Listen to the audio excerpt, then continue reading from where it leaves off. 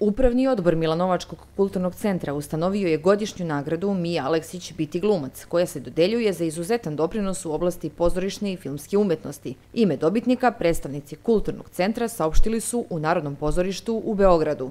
Ovogodišnji dobitnik nagrade Mija Aleksić je Nenad Jezdić.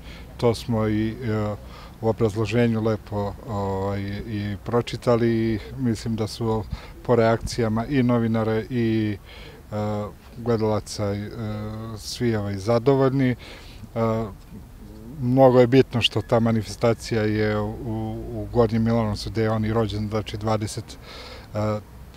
E, septembra do njegov rođendan je manifestacija, što je potvrdio i njegov sin e, došašli na konferenciju da je to od značaja ne samo za Gornji Milanovac, nego i za porodicu Mije Aleksić. Jezdiću će Grand Prix biti dodeljen na otvaranju prve manifestacije Dani Mije Aleksića, koje počinje 26. i traje do 30. septembra u prostorima Milanovačkog doma kulture. Nakon uručenja priznanja, ansambl Beogradskog narodnog pozorišta odigraće predstavu Sirano Edmona Rostana u režiji Ivana Vukovića. Kulturni centar je za 90 godina napravio sveobuhvatnu izložbu u produkciji Kulturnog centra autora Bobana Stefanovića, tako da smo je sad dopunili i ona će biti jedan od pratićih programa Za pet dana festivala, osim predstava, izložbi i filmskih projekcija, posetioci će moći da vide i balet. Ko to tamo peva Beogradskog narodnog pozorišta u koreografiji reži Staše Zurovac u subotu 29.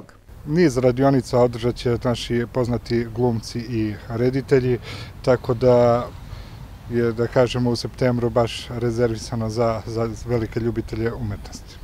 Dane Mije Aleksića realizuju Kulturni centar i opština Gornji Milanovac. Pre početka ove manifestacije Milanovački kulturni centar biće u nedelju 16. septembra domaćin i 46. saboru Narodnog stvaralaštva, na kojem će se naći preko 450 učesnika.